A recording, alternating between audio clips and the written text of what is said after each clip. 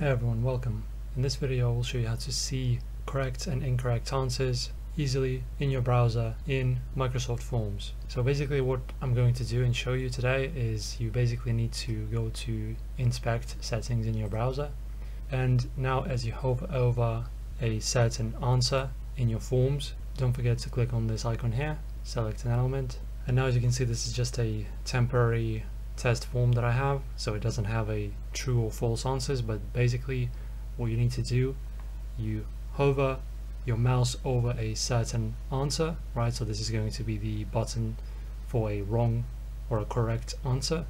It depends on the actual form.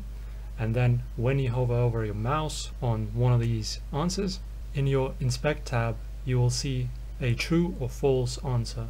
Just like this you see it's false and you will see a true or false and you can basically 100% understand which answer is false or true and easily see both false and true answers at the same time. So if you want to do that that's the way. It's very easy. Thank you for watching. I will see you next time